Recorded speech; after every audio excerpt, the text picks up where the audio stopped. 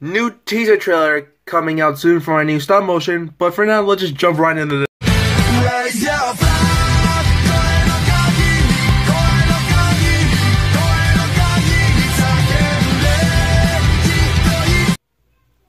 Hello everyone, this is Inferno Zero again, and today we're doing a different type of review.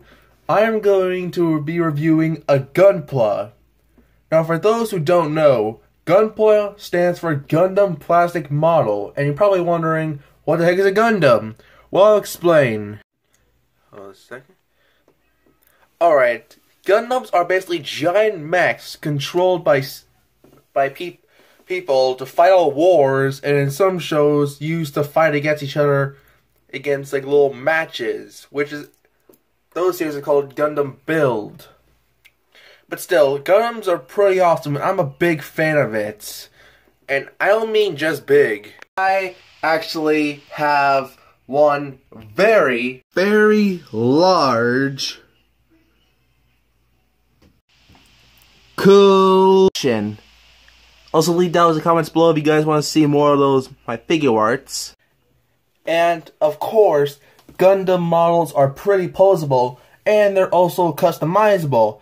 And to show that, here we have my custom Barbatos Rensen Roja, if you guys see my Instagram, and his other form, Dragon Breaker which these two will be in a stop motion coming soon. Look forward to it. But for now, let's get back into the review. This kit is called the GM Jim, or Jim Jim, I don't know what the heck, and it's from a special called Gundam Build Di Fighters, um, um, I believe GM Counterattack, and for that, I actually watch, and trust me, don't watch it, if there is one scene I regret, but it was a good, it was a good short, um, like a little special, but one scene, don't watch. Alright, and this type of kit is actually kind of like a stormtrooper from the Star Wars series, when they're basically just bad guys to get their butts handed to them by the main characters. Um, and of course, this is mostly a great kit to customize, because it's so bland um, that you can do anything you want with it. And if you can see closer, you can see I actually used a panel liner to go over all the panels, including the face. And the, one of the things I love about this kit so much is that there's barely any stickers. You only get stickers for the head scope and the back of it. Oh! I apologize for that noise, but you gotta imagine when I turn his head around, it looks kind of gruesome. Now let's get into the posability of this guy. You got a, a ball joint for the head. Um, it can do a little chicken action, and of course, his head can swivel. If you know who that belongs to, leave it down in the comments below. And don't forget to like the video. Um, you get a little swivel here. Arm can go up this far, and the thing is on a little up and down joint, so you can go up that high. Um, 360, double jointed elbow and it's on ball joint here, which means it can swivel. Of course, all credit goes for that word to the creator, but don't like spam it. Um, rotation here. The leg can go up that far and can go back that far. Has it spreads really nice. I'm not a creep. Um, course rotation of the leg, double jointed knee, ball joint for the foot can go up and down. Foot guard can go up and a pivot. Posability wise, this kit is pretty awesome with it. You can get some really awesome and natural poses. And of course, this isn't to end here. We also got some accessories. Alright, for starters, if you take this off his back right here and attach this beam effect, you get a beam saber, which you can plug right into it, slide right into his hand, and it fits pretty well.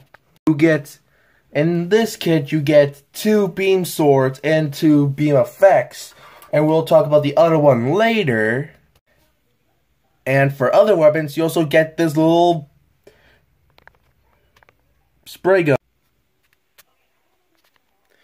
Then you remove move the cap on this, and then take the gun, sliding in his hand, and then you take the piece and put it back.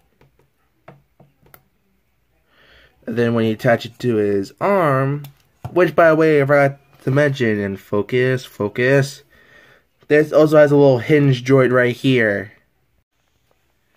And of course, the gun looks pretty nice, except it looks kind of puny. It looks like he's just going to spray paint an area.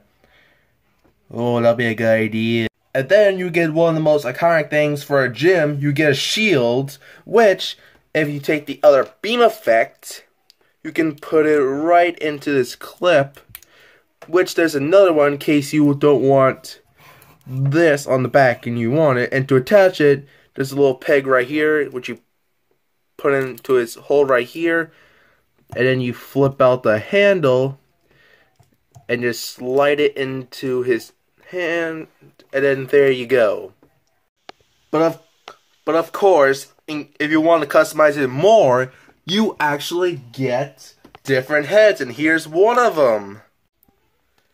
So we get this head. Then you also get this head. And then for the final head, you get this one, which is my personal favorite.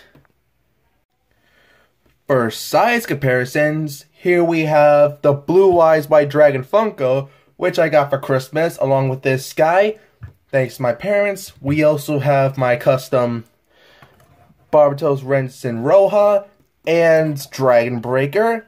Again, but leave it down in the comments below if you guys want to see reviews of these guys. I also leave down in the comments below about any way to improve my channel. Then we also have my Soundwave. And get that up. There we go, which I also got for Christmas from my aunt. Thanks to her. And then for the final one, actually, you know, the final two, we have, of course, Inferno.